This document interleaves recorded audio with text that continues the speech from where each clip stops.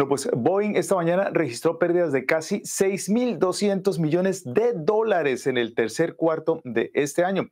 La compañía hizo este reporte el mismo día en que los empleados están votando sobre una nueva propuesta que podría poner fin a la huelga. César Canizales nos tiene los detalles.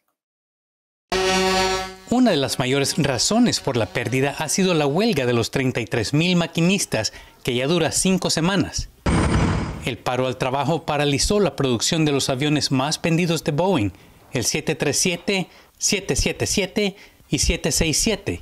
La pérdida de casi 6.200 millones de dólares fue la segunda peor en la historia de la compañía, que ya tiene 108 años de existir. En una conferencia con inversores y analistas financieros, el director ejecutivo de Boeing, Kelly Ortberg, dijo que la primera prioridad es hacer un cambio fundamental de cultura en la compañía él añadió que la confianza en la compañía se ha erosionado y que tiene demasiadas deudas. Los trabajadores en huelga votaron hoy sobre una nueva propuesta que la compañía hizo el fin de semana, pero Ortberg dijo que, incluso si los empleados aprueban la oferta, la producción no va a empezar inmediatamente porque es más fácil apagar la fábrica que encenderla.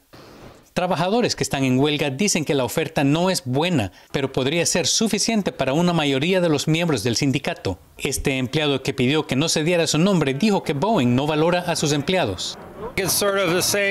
Es más o menos lo mismo que han estado haciendo, simplemente ofreciendo pequeñas cosas esperando que la gente las apruebe y no aborda lo que pedimos al principio. Y lo que pedíamos al principio no era mucho en comparación con lo que la gerencia han obtenido. Estos empleados que trabajan en esta instalación de Boeing en el sur de Seattle no saben qué va a pasar con esta propuesta.